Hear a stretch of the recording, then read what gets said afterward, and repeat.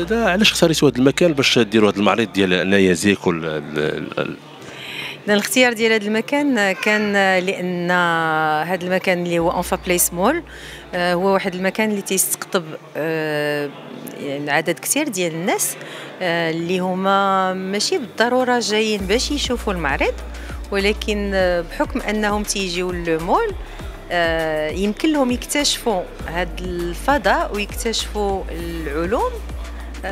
في مكان اللي فيه بزاف ديال المرور.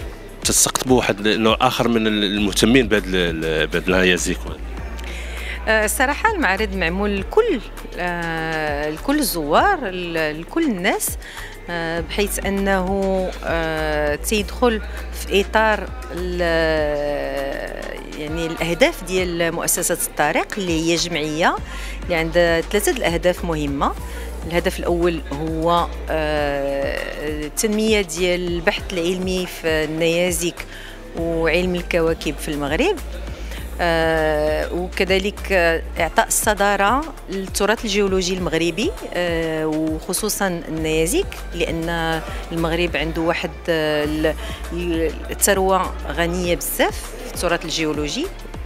والهدف الثالث هو نشر العلوم ونشر المعرفة.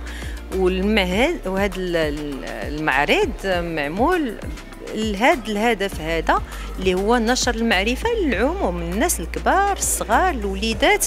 آه، بحيث أنه مؤخرا عندنا مجموعة ديال المؤسسات التعليمية اللي تقوم بزيارة ديال المعرض. اذا هذا المعرض يعني ما معمولش. هي الاختصاصيين آه، أو لا غير الناس اللي هما مهتمين هو معمول للعموم. تقدر تقولي شحال تقريبا عدد الزوار اللي زاروا المعرض هذه ست شهور تقريبا. نعم. الوغ ابتداء من آه، أو فاتح يوليوز اللي درنا افتتاح 30 يونيو. حتى الآن عندنا أكثر من 6000 زائر. واللي منهم تنلحوا على أنه استقبلنا أكثر من 1000 تلميذ من الأكاديمية ديال الدار البيضاء سطات اللي هما تلاميذ ديال مؤسسات حكومية المستوى الأول ديال التعليم الإعدادي. وهذا يعني بالنسبة لنا يعني سعيدين به لأن هاد الوليدات كان عندهم الإمكانية باش يكتشفوا هذا العالم العجيب وهذا العالم اللي هو غني بالمعلومات العلمية. مؤخرا سقط واحد نيازك في ضواحي قلميم واثار واحد الموجة من يعني الجدال حول واش نيازك قمري ولا ماشي قمري. بالنسبة لكم أنتم من القراءة ديالكم؟ آه اذا بالنسبة للنيازك اللي طاحت مؤخرا في جهة قلميم هما كانوا جوج. آه الأول طاح في 16 نوفمبر آه والثاني طاح في 9 ديسمبر. آه الأول غالبا من عينة الكوندريتات. والثاني من العينة ديال les achondrites. آه، بالنسبة للتصنيف ديال هاد الأحجار آه، ما يمكنناش حنا كباحثين أننا نرتجلوا ونعطيو واحد التصنيف. ولو أنه عندنا فكرة على هذا التصنيف ولكن آه، أنا بصفتي خبيرة دولية خاصنا حتى يكون عندنا ثقه تامه في التحاليل. عاد يمكن لنا نقولوا هذا الصنف بالضبط. التحاليل راها آه، في السير ديالها الآن. آه، عندنا عينات بدينا عندنا تحريات ديالنا. آه، اللي إن شاء الله ملي هذه يكون ليس لي التحاليل غادي نديروا واحد une classification تصنيف. ومن بعد خصنا نعرضوه على الهيئة العالمية لتسمية النيازك حيث أنه آه إلا شفتوا هذا المعرض فيه على الأقل على الأقل واحد عشرة ديال النيازك اللي هي النيازك اللي سقطات في المغرب ومصنفة من طرف آه المجموعة ديالنا ديال البحث ديالنا ابتداء من بن قرير في 2004 حتى لتاردة في غشت 2020 وهاد النيازك كلها ما تمكننا أننا نحطوها في المعرض ون يعني نتواصلوا ونديروا البحث العلمي وننشروه حتى كان عندها تصنيف اللي هو مقبول من طرف الهيئه العالمية لتسميه النيازك لأن آه، إحنا باحثين وعندنا واحد خصنا ندخلوا في هذا الإطار.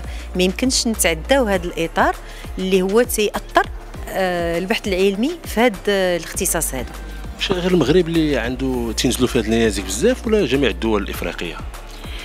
اذا آه، سؤال آه، على فين تتلقى النيازك ألو باش نجاوبوا على هذا السؤال كاين جوج ديال العينات ديال النيازك كاين السقوط الملاحظ حيث أنه بحال هاد النيازك اللي تشافت في جهة قلمين شافوها الناس ملي طاحت وكاين عينة أخرى ديال النيازك اللي هما اللي تيتلقاو آه، les trouvailles.